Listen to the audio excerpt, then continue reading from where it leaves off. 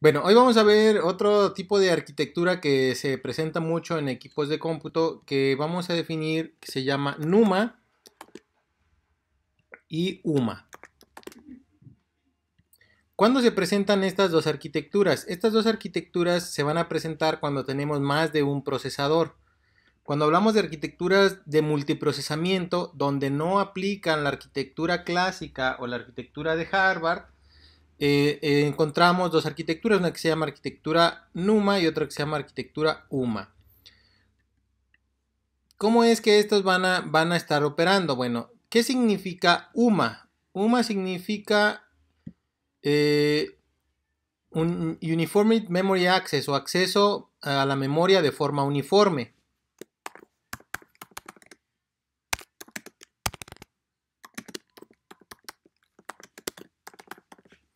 Vamos a tener un acceso uniforme a la memoria. Y del otro lado, el NUMA es Non-Uniform Memory Access, es decir, un acceso a, memoria no uniforme.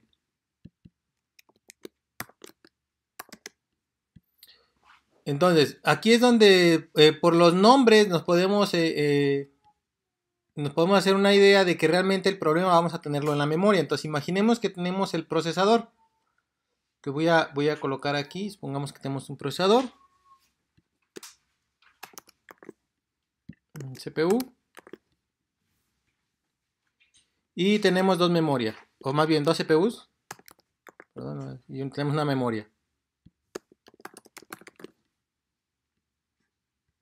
Entonces imaginemos que tenemos un entonces yo aquí tengo un CPU, tengo otro CPU y tengo una memoria a la cual están accediendo los dos CPUs. Desde este punto de vista, entonces, nosotros vamos a acceder a la memoria a través de dos CPUs diferentes. Pero lo tienen que hacer de forma uniforme. Esto es, primero lee uno una cantidad y luego lee otro otra cantidad y así sucesivamente se van a estar intercambiando la forma de acceder entre los elementos del CPU. Es decir, si voy a traer dos programas, uno para que lo ejecute el CPU1 y otro para que lo ejecute el CPU2, pues van a tener un tiempo para poder acceder y sacar lo que necesiten. Es decir, a lo mejor les voy a dar un segundo para que vayas a la memoria y saques lo que necesitas. Pero si en ese segundo no sacaste todo lo que ocupabas, te esperas. ¿Por qué? Porque el siguiente CPU también va a tener un segundo para poder entrar a la memoria y sacar lo que necesita. Una vez que concluya el segundo de este lado, es decir, una vez que este ya terminó, entonces le cede otra vez el espacio a este para que acceda por otro segundo a la memoria y saque el resto del programa que, no sacó desde la primera vez. Pero si de todos modos todavía no, no termina, es decir, porque era un programa muy grande, pues se va a tener que volver a esperar mientras el CPU que está al lado accede por otro segundo y luego después el CPU 1 vuelve a acceder por un segundo y luego el otro vuelve a acceder por un segundo. Entonces, fíjense, es una un acceso a memoria de forma uniforme, es decir, solamente uno de los dos CPUs puede estar accediendo a la información de forma este, eh, a, la, a, la, vez. Entonces no pueden estar los dos sacando información a la vez, solamente uno a la vez. Entonces al compartir las líneas de comunicación, pues el acceso a esta memoria va a ser de forma uniforme. ¿Qué pasa en la NUMA? Bueno, pues en la NUMA lo que vamos a tener es lo siguiente. En la NUMA supongamos que tenemos dos CPUs.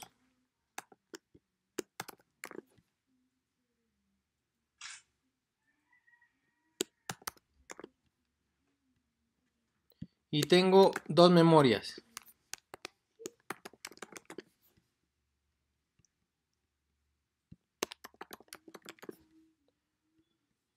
De tal forma entonces que aquí hay un CPU con su propia memoria hay otro CPU con su propia memoria. Cada uno tiene su propio canal de información hacia la memoria, pero hay un canal de comunicación entre los dos CPUs. Es decir, se pueden comunicar los dos CPUs, pero cada uno tiene su propia memoria. De tal forma que es un acceso no uniforme, es decir, este puede estar accediendo a la hora que se le pegue su gana y por, lo, por, por consecuente el de al lado también puede estar procesando su información por separado sin ningún problema a la hora que él necesite. Entonces, mientras que este es uniforme porque se tienen que poner de acuerdo cómo se van a comunicar con la memoria, estos no, porque estos al final de cuentas tienen su propio canal de comunicación a la memoria y pueden ir a la memoria y sacar los datos a la hora que ellos necesiten. Esta, tanto la arquitectura UMA como la arquitectura NUMA pues son elementos utilizados, ¿verdad? Que, vamos a encontrar. ¿Por qué? Porque a partir de que sale la parte de multiprocesadores, es decir, un procesador que tiene más de un núcleo, eh, como a lo mejor el Core i5, Core i7, Core i9 o los el de AMD Ryzen 7, Ryzen 5, que ya tienen muchos procesadores ahí adentro y que tienen que comunicarse, pues hay que ver realmente cuál es la mejor opción para trabajarlo. Ahora, entendamos lo siguiente. y siempre pregunto, ¿verdad? ¿Cuál será la mejor, la UMA o la NUMA?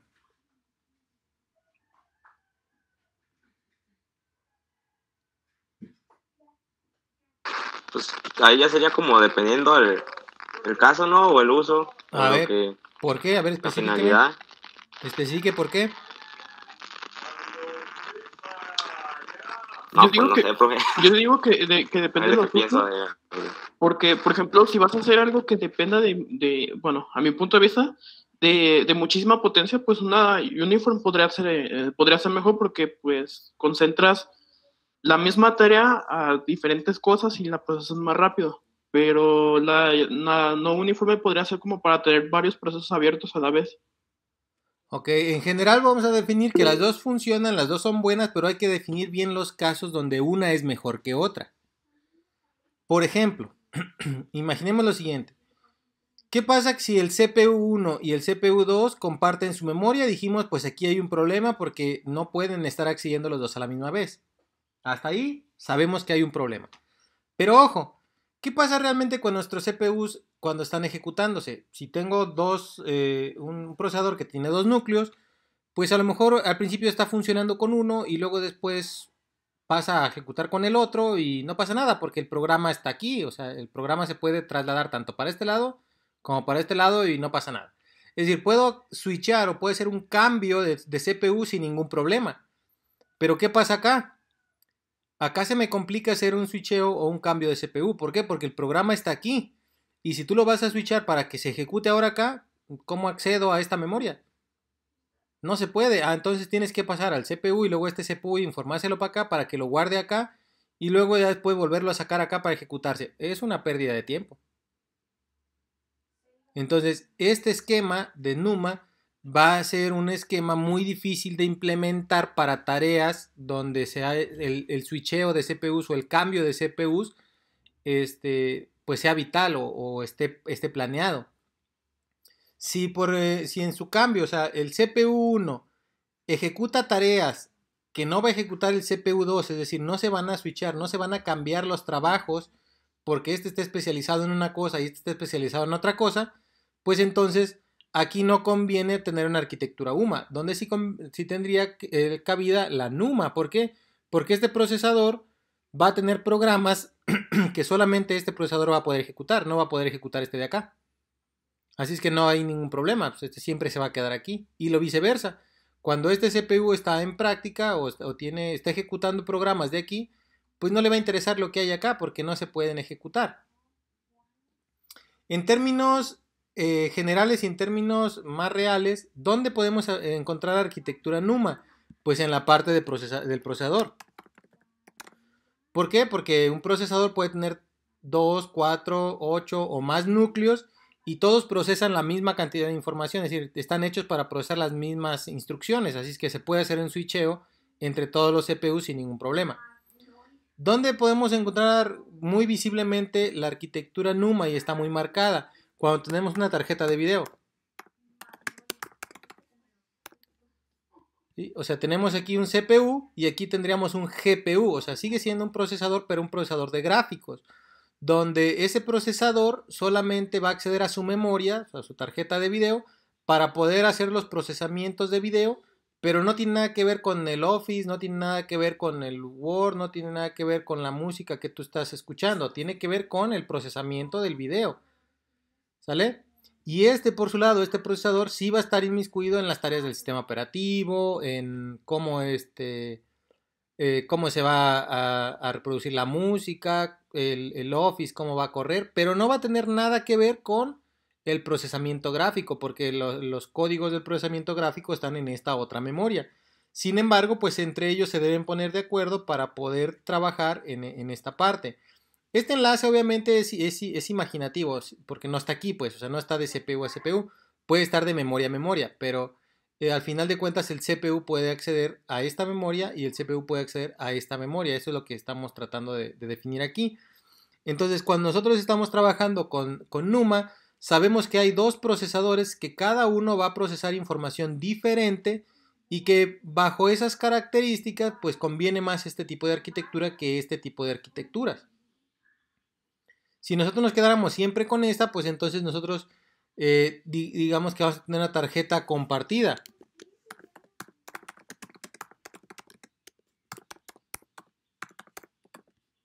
Y acá tenemos una tarjeta de video dedicada. Ahora, en su experiencia, yo creo que está muy claro el identificar, por ejemplo, en un juego, cómo es mejor tener una tarjeta de video dedicada que tener una tarjeta de video compartida.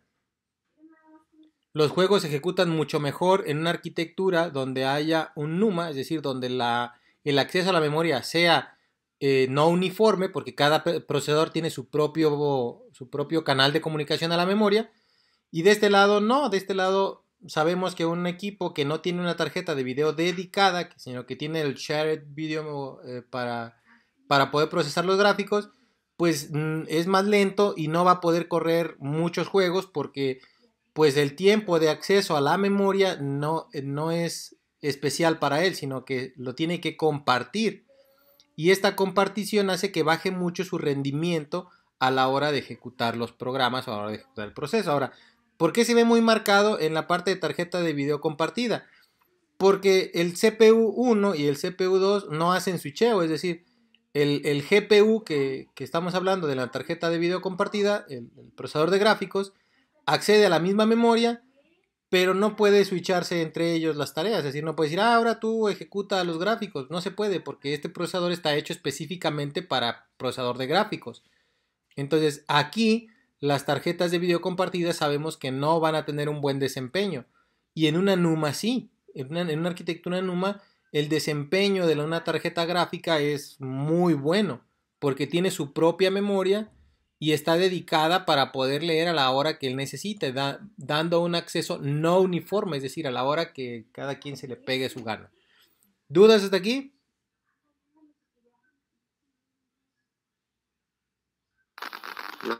No, no, todo bien. No, todo bien.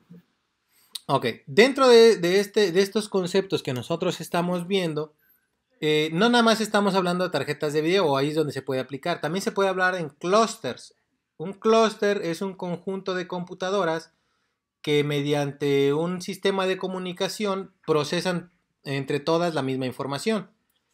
Por ejemplo, podemos hablar de un clúster de renderización donde conectamos bitcoins, ¿no? También donde podemos conectar n cantidad de máquinas y a través del internet, a través de una red de computadoras, a cada una de las computadoras por separado, o sea, cada CPU con su memoria, cada procesadora tiene su, propio, su propia memoria y es independiente. Entonces, si hablamos de minado, pues podemos conectar a lo mejor, no sé, 600 máquinas que parecen que son una, pues porque tiene el, poder de, cómputo combinado de todas y se ve como una sola computadora, pero en general, pues es una arquitectura NUMA, porque un procesador, digamos maestro, les envía a cada computadora el trabajo que tiene que realizar y entonces internamente la computadora que tú conectaste para el minado hace eh, el proceso de un, CPU con una memoria, ejecuta lo que tenga que ejecutar, comparte los resultados al maestro,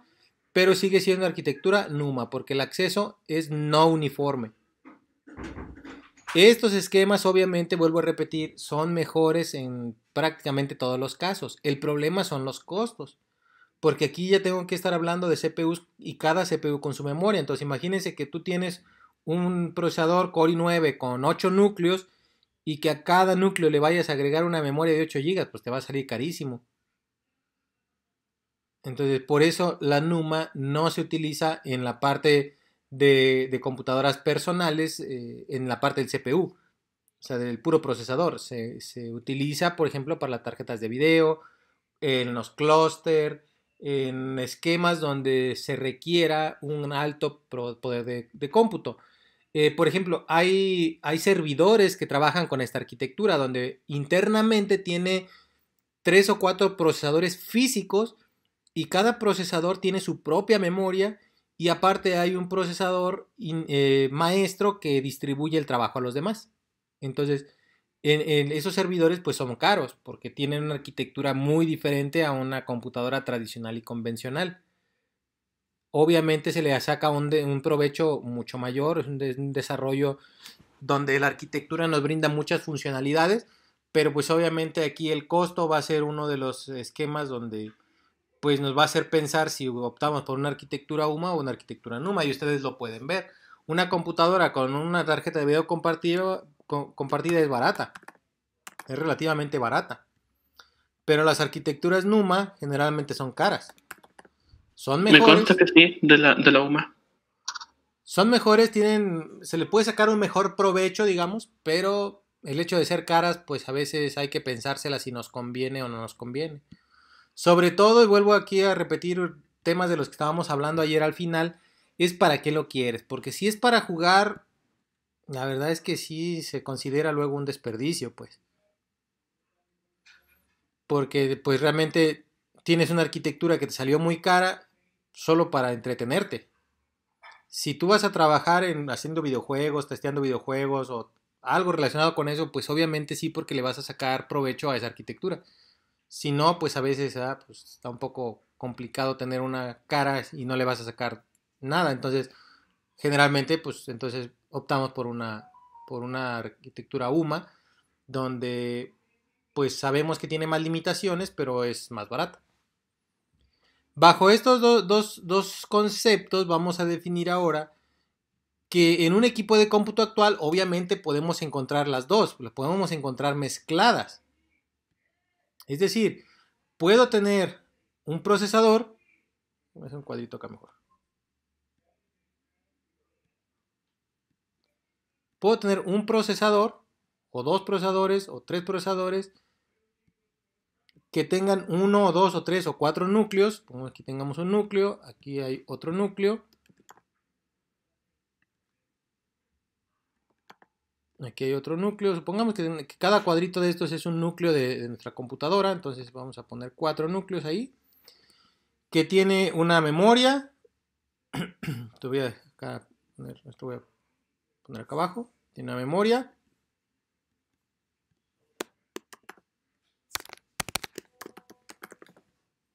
Y luego tenemos a lo mejor un GPU. Voy a ponerlo con otro, con otro tipo de, de figura, un GPU, y que el GPU también tiene su memoria. Pero es una memoria diferente porque esa memoria pues está hecha para gráficos. Voy a ponerle aquí las letras, aquí voy a poner GPU. Acá vamos a tener la memoria. Y aquí vamos a tener el CPU. Ahora, si nosotros generamos la línea, podemos decir que el CPU se comunica directamente con su memoria sin ningún problema. Que la memoria del CPU se comunica directamente, perdón, GPU se comunica directamente con el GPU sin ningún problema. Pero debe haber un canal de comunicación entre el CPU y el GPU, ¿vale?